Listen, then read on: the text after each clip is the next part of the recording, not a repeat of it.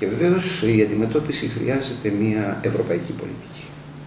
Πρέπει για παράδειγμα, το έχω πει επανειλημμένα, να αναθεωρηθεί η συνθήκη Δουβλίνο 2, η οποία ουσιαστικά έχει διαμορφώσει συνθήκες για την Ελλάδα να έχει αποθήκες ανθρώπων, αποθήκες ψυχών. Δεν είναι όμως αυτή η δουλειά της μεταναστευτικής πολιτικής, αλλά μόνη της η Ελλάδα δεν μπορεί. Πρέπει να υπάρξει, γι' αυτό και έχω προτείνει και διεκδικώ την αναθεώρηση του Δουβλίνου 2 για να υπάρξει ένας ευρωπαϊκός καταμερισμός. Αποφεύγω την γενικότερη αναφορά μιας ευρωπαϊκής πολιτικής, η οποία θα έπρεπε χρόνια τώρα να είναι στοχευμένη, δυστυχώς απουσιάζει, στο να μπορούν να κρατούν οι άνθρωποι την παραμονή τους στη χώρα της προέλευσής τους και να μην αναγκάζονται να μεταναστεύουν. Αλλά είναι ένα συνθετότερο ζήτημα. Πάντως έχουμε ένα ρεπορτάζ στο τεύχος που θα βγει, το οποίο τεκμηριώνει ότι η Ελλάδα έχει πάρει περίπου 330 εκατομμύρια ευρώ από το 2007 για να συγκροτήσει μεταναστευτική πολιτική.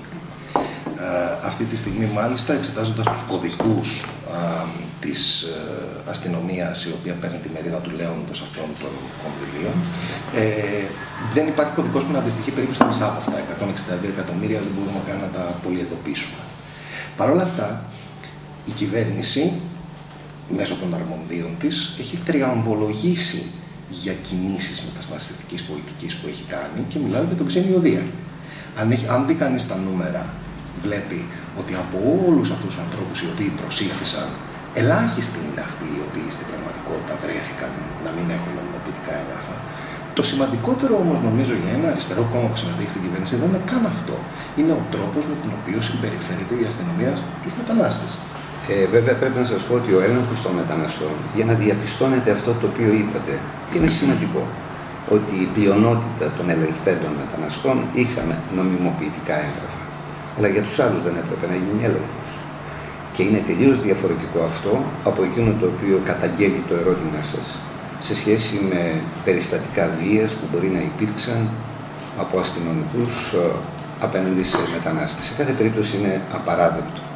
Και σας είναι γνωστό ότι δεν δίστασα, έστω και αν στηρίζω την κυβέρνηση για πολιτικούς λόγους, τους οποίους έχω εκθέσει, να καταγγείλω τα γεγονότα αυτά και να ζητήσω να μην υπάρχει αυτή η συμπεριφορά κάποιων αστυνομικών, εγώ δεν θέλω να γενικεύω, απέναντι στους μετανάστες.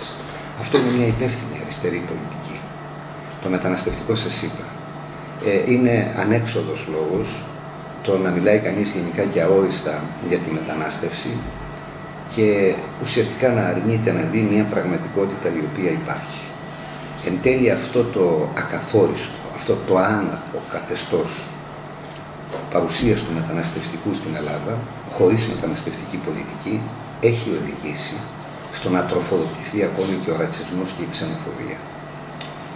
Μια τελευταία στο ίδιο θέμα και περνάμε σαν. Ε, πήραμε στο προηγούμενο μας τεύχος συνέντευξη από τον κύριο Δένδια.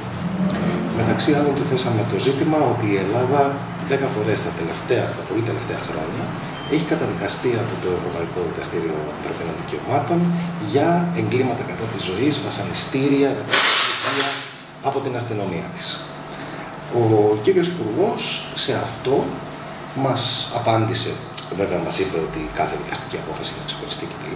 Μας απάντησε όμως ότι ο ίδιος βρίσκει ένα πρόβλημα με την νομική επάρκεια του Ευρωπαϊκού Δικαστηρίου και που στην πραγματικότητα η πολιτική του περισσότερο ενυποθηκεύει, ήταν η λέξη του, παρά βοηθάει την υπόθεση των ανθρωπίνων δικαιωμάτων στην Ελλάδα και στι άλλε χώρε. Διαφωνώ με Επειδή είστε νομικό.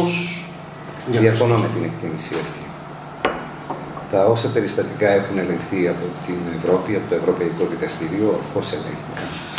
Πολλά από αυτά τα έχω καταγγείλει και ο ίδιος, και όχι χθες, όχι προχθές, μέσα σε διάρκεια πάρα πολλών ετών και επιτρέψτε μου δεν είναι αυτάρεσκος λόγος, τα ανέδειξα αυτά τα ζητήματα εδώ και αρκετά χρόνια και δεν παραλείπω να το κάνω.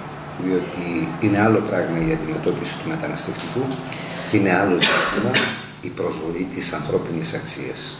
Έστω και αν αυτός ο οποίος βάλεται από αυταρχισμούς, από απαράδεκτες ενέργειες, είναι νόμιμος μετανάστης ή μετανάστης που δεν έχει χαρτιά.